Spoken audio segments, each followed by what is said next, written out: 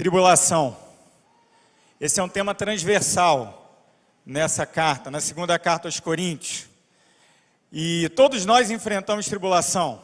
Eu não sei o que é tribulação para você. E temos muitos tipos de experiência de tribulação, mas uma delas para mim é ter um relógio marcando sete minutos aqui na minha frente. Já são seis e quarenta agora. Relógio enorme, assustador, pastor. Não sei o que faço, acho que eu vou sair correndo. Não, vou pregar em 6 minutos e 28 segundos. Tribulações, queridos. Enfrentamos tribulações, e o apóstolo Paulo, ele enfrentava tribulações quando escreveu essa carta, e ele trata de tribulações ao escrever aos Coríntios. E são muitas as tribulações, tribulações que ele havia enfrentado em Éfeso, ali saído fugido, tribulações que ele havia enfrentado na Macedônia, muitas perseguições, muitas dores, muitos problemas. O apóstolo Paulo havia largado tudo que tinha na sua vida em prol do ministério, em prol do serviço a Jesus Cristo, e agora ele se via muitas vezes sentindo falta, sentindo dores, verdadeiras dores. Mas também a tribulação para o apóstolo Paulo, especificamente nesta carta, quando ele, ah, que amava tanto aqueles crentes, que amavam, amava tanto aquela igreja em Corinto, vê aquela igreja caminhar por caminhos sinuosos, duvidosos. O apóstolo Paulo ele tem a preocupação, então, não apenas de expor o seu sofrimento, mas também de relembrar para aqueles irmãos que enfrentar o sofrimento faz parte da vida cristã fiel. E aqui está o grande ponto de divisão nesta carta. Se você vai andar em fidelidade ou não, se você vai andar de acordo com o padrão de Deus ou não. Os coríntios se mostravam muitas vezes, ou pelo menos queriam passar uma imagem de serem muito espirituais, de estarem num patamar muito elevado no seu caminhar com Deus, mas na realidade, muitas vezes aquilo não passava de orgulho vão, não passava de aparência. Mas o apóstolo Paulo ele faz questão de relembrar, de relembrar de forma muito clara que o verdadeiro ministro do evangelho que a verdadeira igreja, solidificada na mensagem da cruz de Cristo Jesus, ela é uma igreja que se apresenta pobre, ela é uma igreja que se apresenta limitada, ela é uma igreja que se apresenta enfraquecida, para que o poder de Deus se manifeste através dela. Por isso, já no capítulo 4, ele, de forma muito contundente, nos relembra que nós não passamos de vaso de barro que nada vale. Vaso de barro comum, vaso de barro que pode ser comprado em qualquer lugar, vaso de barro que quebra por qualquer coisa, o vaso de barro que rapidamente, inclusive, é até substituído.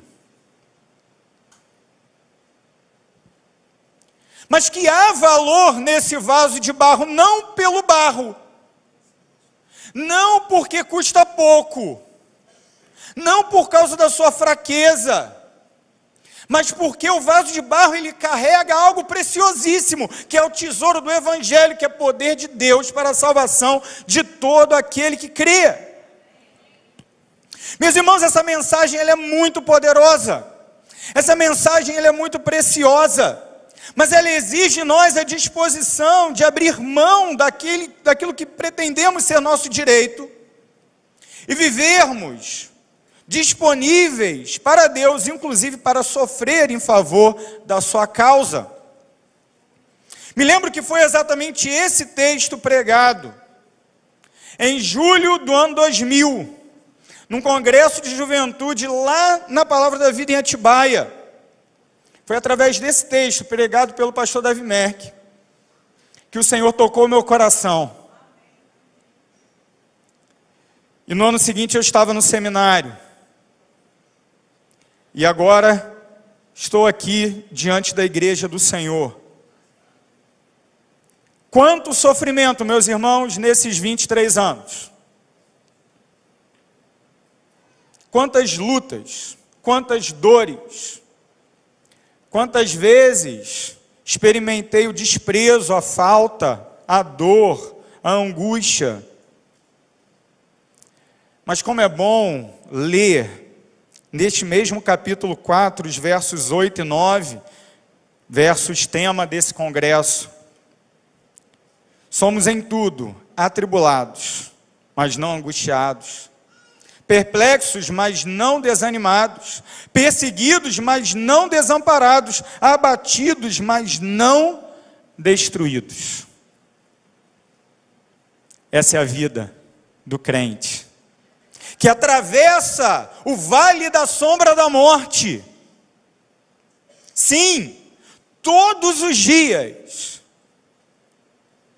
mas que experimenta da parte do Senhor não apenas o livramento, mas o contentamento em meio a dores profundas. O apóstolo Paulo aprendeu isso a duras penas, porque ele mesmo clamou ao Senhor três vezes: Me arranca, Senhor, esse espinho na carne, me arranca, Senhor, aquilo que me aflige, me livra, Senhor, desse sofrimento. E Deus lhe disse, de forma muito clara: A minha graça te basta, porque o meu poder se aperfeiçoa na fraqueza. E por que deve ser assim? Porque o poder de Deus se manifesta quando o nosso pretenso poder cai por terra e é de todo anulado. Que Deus, mais uma vez, através dos vales que enfrentamos e que atravessamos, nos faça fracos, verdadeiramente fracos, diante de todos, à luz do dia, que a sociedade de fato nos veja fracos, para que o poder de Deus se manifeste em nós, para que ninguém lembre do nosso nome, mas que a, a, o mundo veja Cristo Jesus em toda a sua glória e resplendor. Deus, por favor,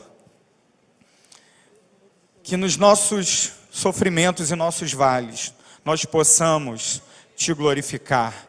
Manifesta, Deus, o teu poder através da tua igreja da tua igreja sofredora, mas que também é a igreja vitoriosa em Cristo Jesus. Amém.